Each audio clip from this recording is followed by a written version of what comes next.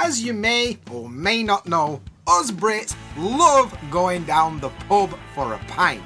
It's a huge part of our culture and it's enjoyed by people up and down the country, but why?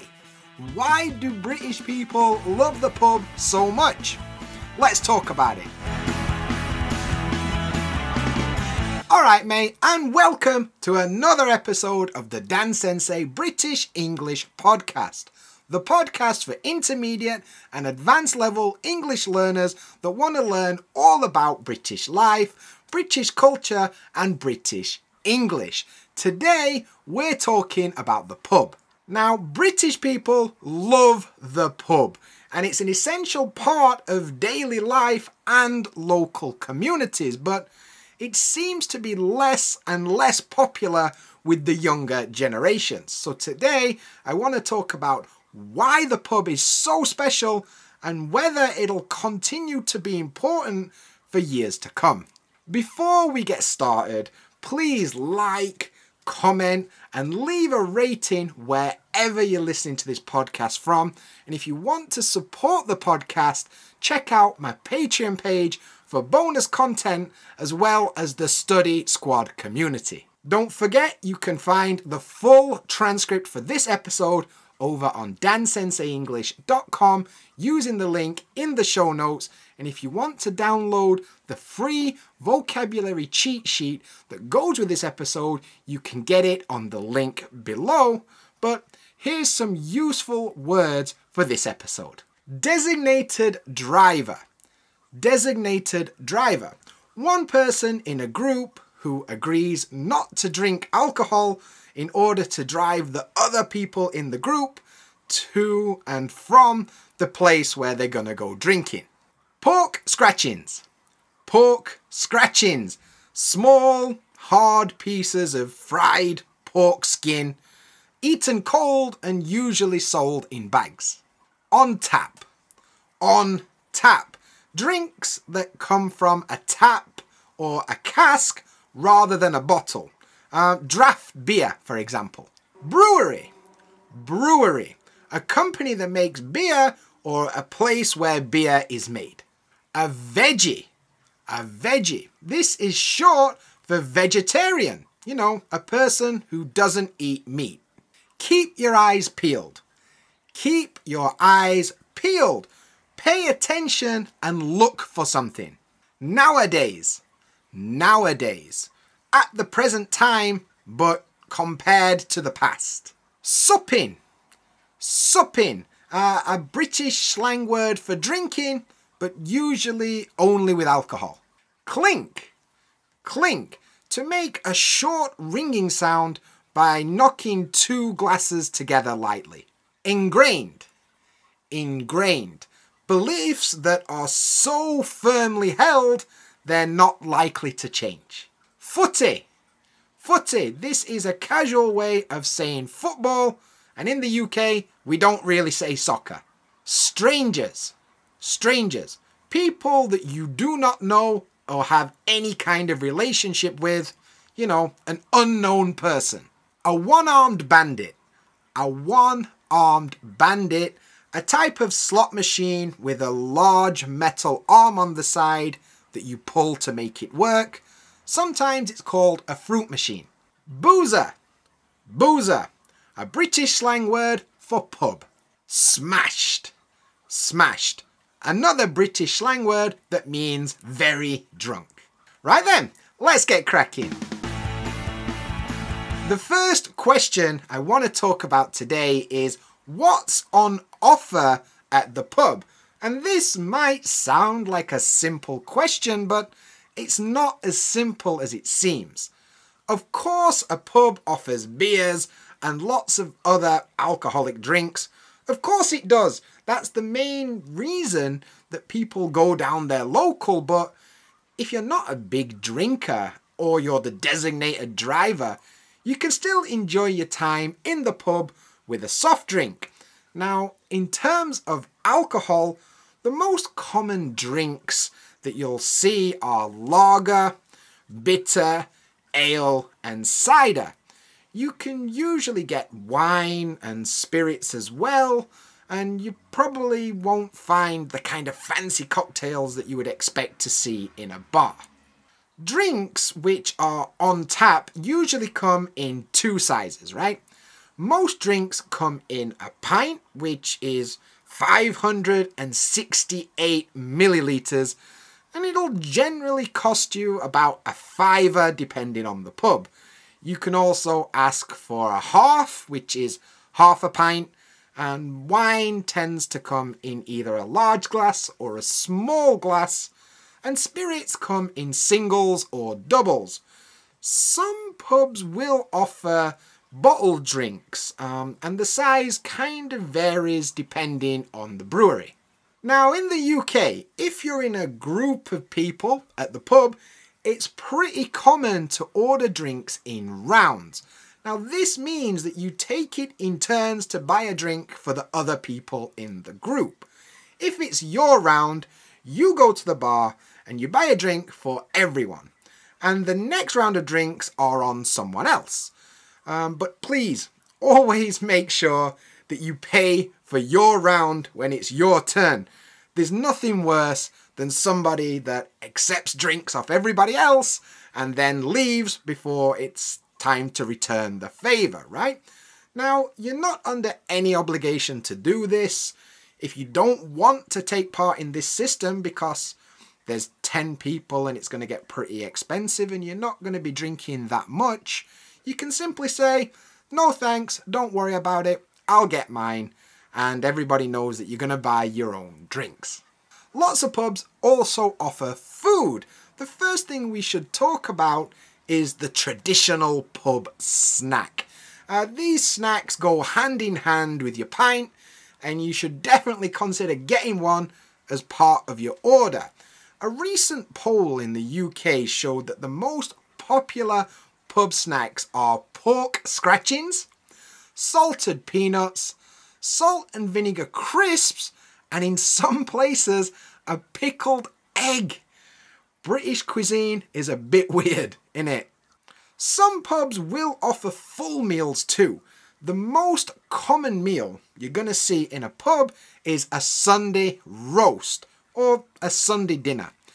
As the name suggests, it's usually served at lunchtime on a Sunday, but nowadays you'll see it available almost every day. A Sunday roast is usually some roast meat, like pork or beef or chicken, served with roast potatoes, fresh veg, and loads of gravy because British people love gravy. You might also get something called a Yorkshire pudding, which is not sweet. It's like some weird baked batter bowl thing, but it's pretty good though. Other food that you'll find down the boozer are things like steak and ale pie, a ploughman's lunch, and of course, fish and chips. Don't worry if you're a veggie or vegan. These days, most pubs have got options for those of you that don't eat meat. Each pub is different, of course, but you might find there are also specials on offer. Pubs will do things like curry night or special burgers throughout the week, so keep your eyes peeled. The main difference is that in a pub, you usually need to go to the bar to order food and drinks, which is different to a restaurant. Uh, another thing to be aware of is that we don't really tip in pubs in the UK. But if you want to say thank you to the host, you can buy them a drink as part of your order.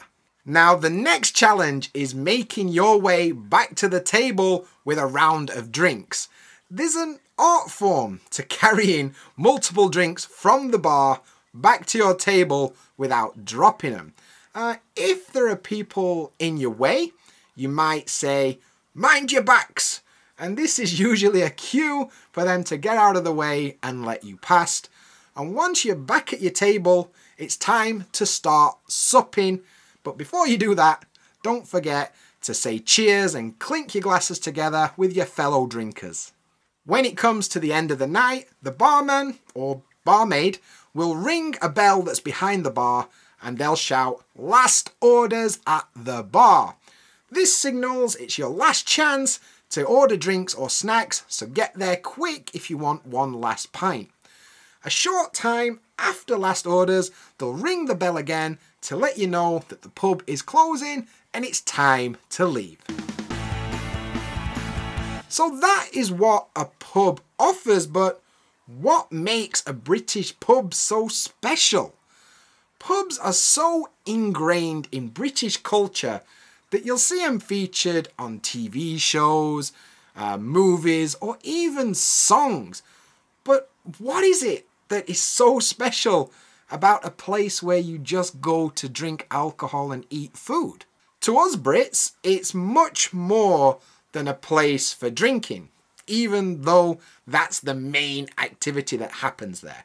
It's the centre of communities up and down the UK where people can go to relax, spend time with their friends, and even play some pub games in a social environment. And there's so much more to a British pub than the beer. For me, the atmosphere in pubs is really unique. The pub is usually pretty quiet and relaxing. It almost feels like being in someone's house. And that's where the name pub actually comes from. The original term was a public house, you know, a house that is open to the public and you'll often find that the footy is on TV and in the winter there might be a nice warm fireplace to keep you warm. Sitting down to a nice pint is not the only thing that we do in the pub. Most pubs will offer some pub games to help you pass the time the most common thing you'll find is a pool table where you can have a game of pool with your mates. Usually, to start the game, you need to feed some coins into the machine to release the balls and away you go. A pro tip here is that if someone is using the table before you, you need to indicate that you're waiting to play next. You do this by putting your coin on the edge of the table near the coin slot. This is universally known to mean that you've got the next game. Another game you're quite likely to see is darts. This is where there's a dartboard on the wall and you throw little pointy metal things into it to score points. It's pretty common in pubs around the UK you may also find things like pinball machines or one-armed bandits. Nowadays you'll see quiz machines too. These games will vary between pubs and if you get chance, you should give them a go and enjoy them as part of the British pub experience. Another really common event that happens at pubs is the quiz night. This is where you take part in a pub-wide general knowledge quiz in small teams competing with all the other teams to win some kind of prize. They're a great laugh and a good way to spend an evening. Some pubs will have like open mic nights where you can get up in front of everybody and perform some music or sing karaoke. Um, there are lots of fun things to do down the pub. Now all that stuff is all that stuff is great, but for me, the thing that makes the pub so special is the friendly people that you meet. The staff are usually lovely and welcoming, and it's not unusual to chat to total strangers about anything from the weather to the meaning of life and everything in between. Now, you don't get that anywhere else. You can't really start a conversation with strangers on the street, but in the pub, we're all equals and part of the community. So if you're new to the UK and you're looking to meet new people and make friends, the pub is the best place to start. The last thing to talk about today is the future of the British pub pubs are very traditional things and as times change, the pub is starting to get left behind. Do pubs have a place in British culture 10, 20 or even 50 years from now? Historically, pubs were a place for people to gather and spend time together in public. You'd go there to chat with your mates and people from your local area, and that's how the community was built. However, these days, due to the rise in internet and social media, it's not that important anymore. You can talk to your mates on WhatsApp, and you can also meet new people on social media, so you don't need the pub to do that anymore. The younger generation are more than happy to spend time with their friends virtually, whether that's playing online games together or watching videos through YouTube or having an online drinking party through Zoom. They don't really see a need for the pub anymore. And to be honest, I can kind of see where they're coming from. Going to the pub can also be a bit of an expensive experience. By the time you've travelled there, bought some pub grub and a few pints, you could be looking at paying anything upwards of 40 quid for the evening. Now, you can do most of that stuff at home for a fraction of the price. Most supermarkets sell alcohol much cheaper than you can buy in the pub, and as the UK is going through a cost of living crisis, people are cutting back on their spending, and that means less trips to the pub. The pandemic also really hurt the pub industry in the UK. As people were unable to meet in public places, lots of pubs were forced to close and lots of them never reopened. And the ones that did have been really struggling to survive in a post COVID society. You know, social distancing and masks made it hard for people to enjoy the pub atmosphere, and that's caused people to stay away from their local boozer. I'm not really sure if the British pub will survive into the future, but I hope it does. It's an important place for people to come together and build communities as well as getting smashed with your mates on the weekend to help you forget about your bad week at work. It's something that I really miss since moving to Japan. And if you're living in or visiting the UK, I strongly recommend you try, and you might just find you end up loving the pub as much as us Brits do. So that is all about the pub and why British people love it. I'd love to know what you think about British pubs. Have you ever been to one? And if you have, what did you think about it? If you've never been to a pub before, would you like to? And why? I'd love to hear your thoughts and opinions about British pubs. You can leave a comment below if you're watching on YouTube. Uh, you can send me a message on Instagram if you're listening to the audio version. Either way, I'd love to hear from you. And if you enjoyed this podcast, do me a favour, leave a review on Spotify or wherever you're listening to this from. It's the best way to help the podcast grow and find new people. If you're watching this on YouTube, don't forget to subscribe and hit that like button to let me know that you enjoyed this one. If you want to go one step further and support the podcast, why don't you join me on Patreon? From $5 per month, you get access to bonus episodes, videos, all that good stuff. But the most important thing is you get access to the Study Squad community. It's the perfect place if you want to improve your English, especially your English speaking, as you can chat with people and practice speaking about all sorts of different topics. We have weekly meetings where you can talk with me and other members, and the more that the community grows, the more chances there'll be to make friends and take part in English conversations. I'd love to see you in there, so be sure to check out the link in the show notes. It's patreon.com forward slash Dan Sensei. But that's it for this episode, and I'll catch you in the next one.